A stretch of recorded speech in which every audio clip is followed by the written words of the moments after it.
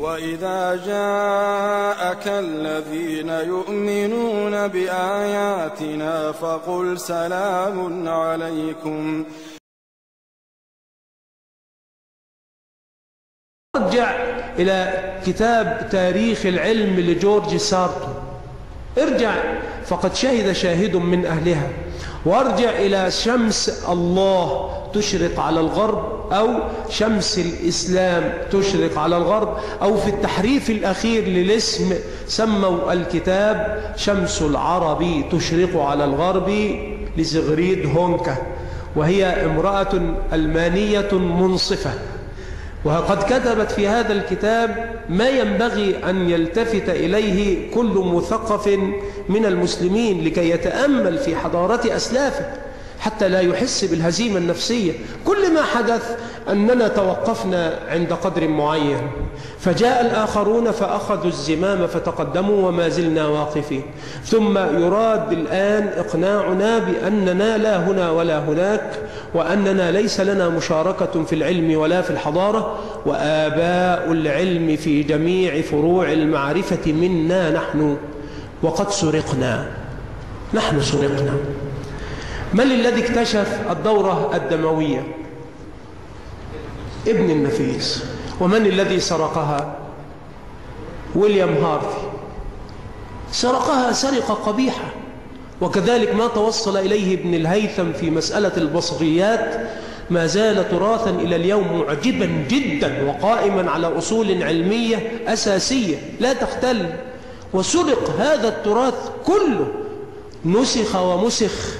ثم نسب إلى الآخرين ونحن ما زلنا إلى اليوم نتفرج وهي فصيحة نتفرج على هذا الركب يسير وكأن الأمر لا يعنينا لا في قليل ولا كثير والأمر جد خطير.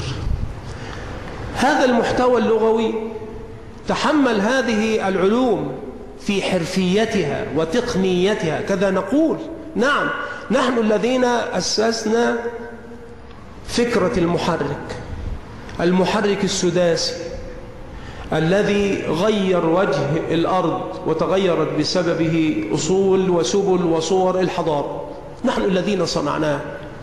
المسلمون هم الذين وضعوا هذه الأصول بل عملوا بها. وقد تظن أن الذين فعلوا ذلك كانوا حرفيين بدرجة فائقة فلا يدرون من أمر الشرع شيئا. كلا. الإمام القرافي المالكي إمام أصولي فقيه من أعظم الأئمة ومن أعظم الفقهاء في مذهب مالك ومن أعظم العلماء على مدار تاريخ هذه الحضارة الإسلامية في المسائل العملية وليس في المسائل النظرية.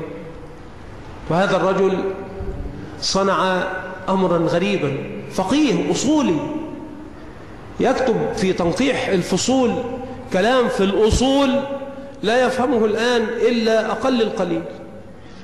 الرجل صنع صنيعا بديعا عجيبا.